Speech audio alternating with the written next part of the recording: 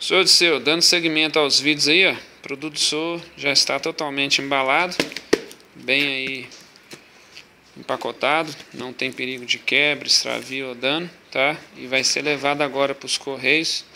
Assim que tiver posto dos correios lá, nós vamos receber o código de rastreamento e repassando para o senhor, tá certo? No mais aí, obrigado pela compra mais uma vez. Tenhas um bom dia.